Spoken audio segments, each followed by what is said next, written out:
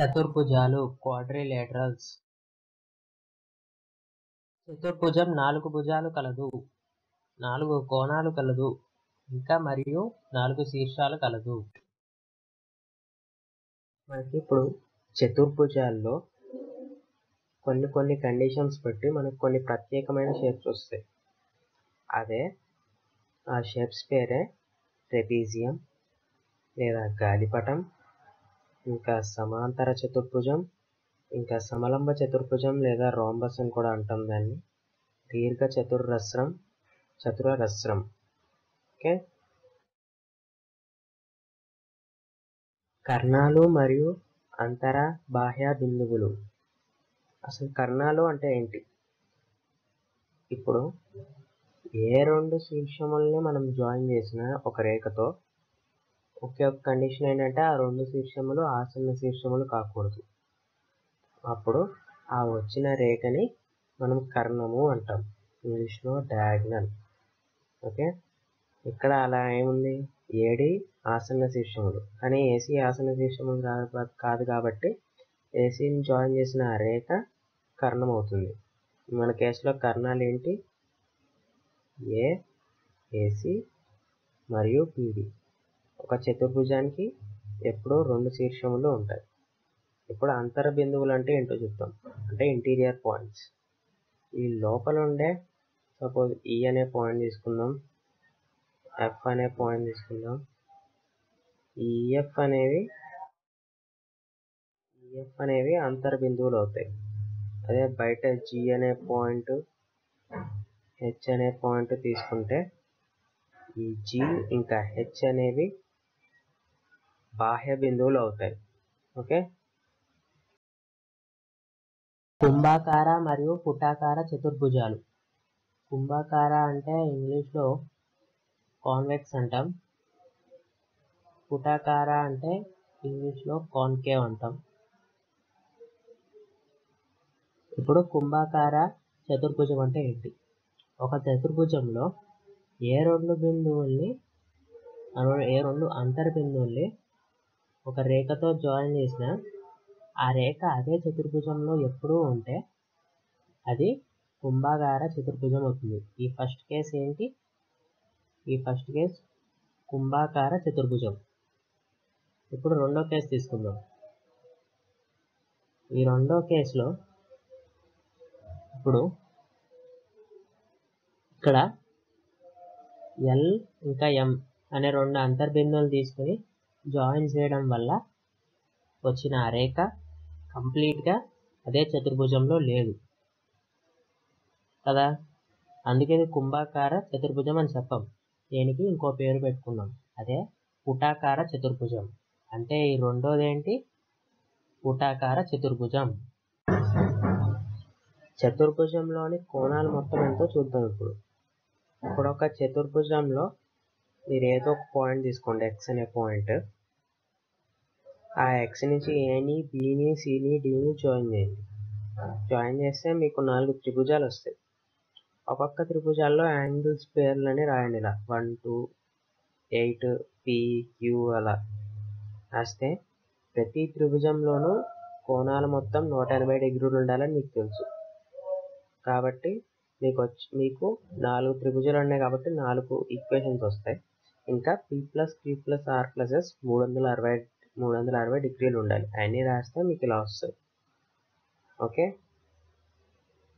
ఇప్పుడు అదే కాకుండా ఇప్పుడు one plus two equal to angle A three plus four equal to angle B five plus six equal to angle C and seven plus eight equal to angle D okay ఇప్పుడు మీరు ఈ నాలుగు ఈక్వేషన్ని add చేసి ఈ ఈ నాలుగు ఈక్వేషన్లు ఉపయోగించి ఇంకా ఈ ఈక్వేషన్ని సబ్స్టిట్యూట్ చేస్తే మీకు చివరిగా మీకు ఏమొస్తుందంటే angle A plus angle B plus angle C plus angle equal to three sixty degrees అని వస్తుంది. ఓకే ఇది ఇప్పుడు మనం దేనికి ప్రూవ్ చేసాం? కుంభాగార చతుర్భుజానికి ప్రూవ్ చేసాం. అలాగే ఇప్పుడు పుటాకార చతుర్భుజం తీసుకుందాం. పుటాకార చతుర్భుజంలో కూడా యాంగిల్స్ మొత్తం ఎప్పుడు మూడు వందల అరవై డిగ్రీలే ఉంటాయి. అది ప్రూవ్ చేయడానికి ఏబీసీ అనే పుటాకార చతుర్భుజం తీసుకుందాం. అందులో ఏసీని జాయిన్ చేయండి. ఇదేమో యాంగిల్ పి ఇది యాంగిల్ డి ఇది వన్ అండ్ టూ అనుకోండి. ఇది త్రీ ఇది four one plus three plus B equal to one eighty degrees and two plus four plus D equal to one eighty degrees ఈ రెండు మీరు యాడ్ చేస్తే మీకు డై ఈ రెండు మీరు యాడ్ చేస్తే ఇంకా one plus two equal A three plus four equal to C అని వాడితే మీకు డైరెక్ట్గా అది వస్తుంది. A plus B plus E plus D equal three sixty degrees అని.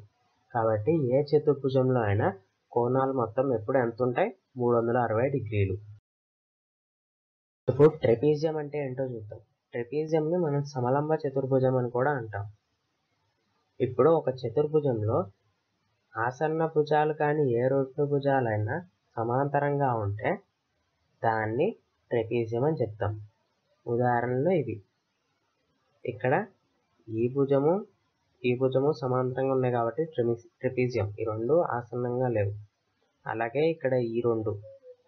ఇక్కడ ఈ రెండు. ఇక్కడ ఈ రెండు.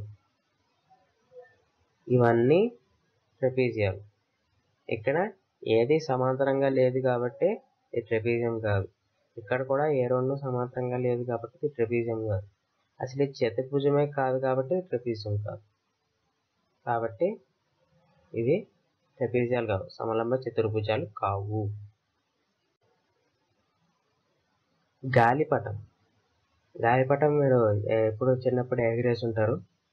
కానీ అది ఎలా ఉంటుందో మీరు ఎప్పుడు అబ్జర్వ్ చేసి ఉండరు. ఒక గాలిపటంలో ఎప్పుడు ఇలా ఉంటుంది బేసిక్గా. గాలిపటంలో ఈ సైడు ఈ సైడు ఎప్పుడు ఈక్వల్గా ఉంటాయి. ఈ ఈ భుజము ఈ భుజము ఈక్వల్గా ఉంటాయి. ఇలా మీకు ఇలా రెండు ఆసన్న భుజాలు జతలు ఒకే విలువ ఉన్నప్పుడు దాన్ని గాలిపటం అంటారు. ఇంకో ఉదాహరణ చూద్దాం గాలిపటంకి. ఇది గాలిపటం యొక్క ఇంకో ఉదాహరణ. చూసారా? ఇక్కడ ఈ భుజము ఈ భుజము equal AC equal to BC AD equal to PD అలా ఏదున్నా దాన్ని గాలిపటం అని చెప్తాం. సమాంతర చతుర్భుజం. ఇంగ్లీష్లో ప్యారలోగ్రామ్ అంటాం. సమాంతర చతుర్భుజం అంటే ఏంటి? ఇప్పుడు ఒక చతుర్భుజంలో ఇప్పుడు ఒక ట్రెపీజియంలో ఆపోజిట్గా ఉన్న రెండు భుజాలు సమాంతరంగా ఉంటాయి. ఇంకో ఇంకో భుజాల జత సమాంతరంగా ఉండనవసరం లేదు కానీ సమాంతర చతుర్భుజంలో రెండు జత రెండు ఆపోజిట్గా ఉన్న రెండు భుజాల జతలు సమాంతరంగా ఉంటే దాన్ని సమాంతర చతుర్భుజం అంటాం. చూడటానికి ఇలా ఉంటుంది. ఇక్కడ ఇది ఇంకా ఇది సమాంతరంగా ఉన్నాయి. ఇది ఇంకా ఇది సమాంతరంగా ఉన్నాయి. రెండు రెండు చేతలు సమాంతరంగా ఉన్నాయి కాబట్టి సమాంతర చతుర్భుజం. ఇప్పుడు సమాంతర చతుర్భుజానికి కొన్ని ధర్మాలు ఉన్నాయి. అదేంటో చూద్దాం. మొదటి ధర్మం. ఇక్కడ ఏబిసిడి అనేది తీసుకుందాం. ఇప్పుడు ఏబిసిడి మీద ఏబి అనేది ఒక స్లైడర్ అనుకుందాం. కిందకి జారిపోయేదానిలాగా.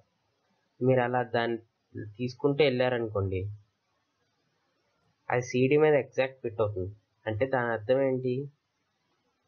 AB equal to CD. ఎందుకు? మీరు తీసుకుని పెడితే మీకు మీరు అలా అబ్జర్వ్ చేయగలుగుతారు. AB equal to CD. అందుకే సమాంతర చతుర్భుజంలో ఆపోజిట్గా ఉన్న భుజాలు ఎప్పుడు ఒకే లెంత్తో ఉంటాయి. Okay? AB equal to CD అలాగే ఏడి ఈక్వల్ టు బీసీ కూడా చెప్పచ్చు. ఇప్పుడు ఇంకో నెక్స్ట్ ధర్మం చూద్దాం. ఏబిసిడి అదే ఏబిసిడి పక్కన పెడదాం. దాన్ని వన్ ఎయిటీ డిగ్రీస్ తిప్పుదాం. ఓకే? ఇప్పుడు తిప్పితే మనకి ఇది వచ్చింది. దాన్ని తిప్పిన తర్వాత దీన్ని తీసుకెళ్ళి మళ్ళీ దాని మీద పెడదాం. చూస్తే మీరు ఎగ్జాక్ట్ ఫిట్ అయిపోయి ఉంటుంది. ఎగ్జాక్ట్ ఫిట్ అయిందంటే దీని అర్థం ఏంటి? Angle A equal to angle C, angle B equal to angle D. Okay అంటే ఏంటి? ఆపోజిట్గా ఉన్న కోణాలు మొత్తం ఆపోజిట్గా ఉన్న కోణాలు ఎప్పుడు ఒకే విలువ ఉంటాయి. ఓకే? ఇప్పుడు ఓకే? ఇందాక మీకు చెప్పుకున్నట్టే A equal to C B equal to T next ఇప్పుడు సమాంతర చతుర్భుజంలో మూడో ధర్మం చూద్దాం. ఇది దీన్ని కర్ణాల ధర్మం అంటాం. ఇప్పుడు ఏసీ అనేది ఒక కర్ణం బీడీ అనేది ఒక కర్ణం. ఇంకా ఏబి టిసిడి సమాంతరంగా ఉన్నాయి కాబట్టి మనం కోణాల చాప్టర్లో ఏం నేర్చుకున్నాం? వన్ ఈక్వల్ టు టూ అలాగే త్రీ ఈక్వల్ టు ఫోర్ ఎందుకంటే ఏడి బీసీ సమాంతరంగా ఉన్నాయి కాబట్టి. ఇప్పుడు మీరు ఏబిఓ సిఓడి ఈ రెండు ట్రయాంగిల్స్ తీసుకుంటే మీకు ఏం తెలుసు ఏబి ఈక్వల్ టు సిడి అని తెలుసు. వన్ ఈక్వల్ టు టూ అని తెలుసు. త్రీ ఈక్వల్ టు ఫోర్ అని తెలుసు. అందుకే మీకు ఏఎస్ఏ ప్రాపర్టీ బట్టి triangle AOB is congruent to triangle DOC దీని నుంచి మీకు ఏమొస్తుంది అంటే ఏ Vivo equal to TO AO equal to CO diagonals వాటిని బైసెక్ట్ చేసుకుంటాయి. ఓకే ఇప్పుడు రాంబస్ అంటే ఏంటో చూద్దాం. రాంబస్ని మనం ఏం ఇంకోలా కూడా చెప్పొచ్చు. ఏంటది? సమలంబ చతుర్భుజం. ఓకే?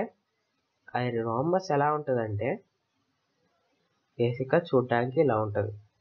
అసలు రాంబస్ అంటే ఇప్పుడు ఇందాక సమంతార సమంతార సమాంతర చతుర్భుజం చూసాం కదా?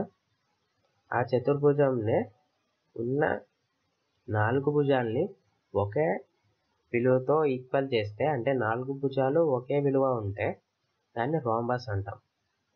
అంటే సమాంతర చతుర్భుజంకి ఉన్న ప్రాపర్టీస్ అన్ని వీటికి కూడా ఉంటాయి. అంటే ఇప్పుడు ఈ భుజము ఈ భుజము ఈ భుజము ఈ భుజము నాలుగు ఒకే విలువ. వాటిని కోణాలని జాయిన్ చేస్తే ఇలా కోణాలని జాయిన్ చేసామనుకోండి. ఇలా కోణాలని జాయిన్ చేస్తే ఇప్పుడు ఇది ఇంకా ఇది ఈక్వల్ మనం డయాగ్నల్స్ బైసెక్ట్ చేసుకుంటాయని చెప్పాం కాబట్టి ఇది ఇది ఈక్వల్ కామన్ సైడ్ కాబట్టి ఈ రెండు కాంగ్రియంట్ కాబట్టి ఇది నైంటీ డిగ్రీస్ ఉంటుంది. ఈ రెండు బైసెక్ట్ అవుతాయి. దీని నుంచి ఒక రాంబస్ ఎప్పుడు ఇలా ఉంటుందని చెప్పచ్చు. డయాగ్నల్స్ ఎప్పుడు పర్పెండిక్యులర్గా బైసెక్ట్ చేసుకుంటాయి.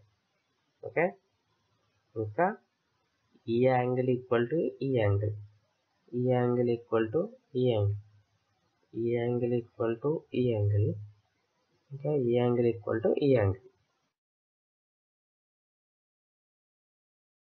దీర్ఘ చతురస్రం ఇంగ్లీష్లో రెక్టాంగిల్ అంటాం. దీర్ఘ చతురస్రం ఎలా ఏర్పడుతుందంటే ఒక సమాంతర చతుర్భుజంలో యాంగిల్స్ అన్నిటిని నైంటీ డిగ్రీస్కి ఈక్వల్ చేస్తే మనకి దీర్ఘ దీర్ఘ చతురస్రం వస్తుంది. అది చూడటానికి ఎలా ఉంటుందంటే ఇలా ఉంటుంది. ఇది నైంటీ ఇది నైంటీ ఇది నైంటీ ఇది నైంటీ. అలాగే అది సమాంతర చతుర్ సమాంతర చతుర్భుజం కాబట్టి ఆపోజిట్ భుజాలు ఈక్వల్గానే ఉన్నాయి. అంతే. ఓకే? చతురస్రం చతురస్రం అంటే దీర్ఘ చతురస్రంలో ఉన్న భుజాలన్నీ ఒకే విలువ పెడితే మనకి చతురస్రం వస్తుంది. లేదా ఒక రాంబస్లో అన్ని కోణాలని నైంటీ డిగ్రీస్కి ఈక్వల్ చేస్తే మనకి చతురస్రం వస్తుంది. అది చూడడానికి ఎలా ఉంటుందంటే ఇలా ఉంటుంది. ఇప్పుడు రాంబస్ అన్ని నైంటీ డిగ్రీస్ కాబట్టి ఇవన్నీ ఈక్వల్గా ఉంటాయి. ఈ రెండు ఈక్వల్గా ఉంటాయి forty five degrees forty five degrees నాలుగు సైడ్స్ ఈక్వల్గా ఉంటాయి. ఇది ఎప్పుడూ నైంటీ డిగ్రీస్ ఓకే ఇది చతుర్రస్వం యొక్క ప్రాపర్టీస్ ధన్యవాదాలు.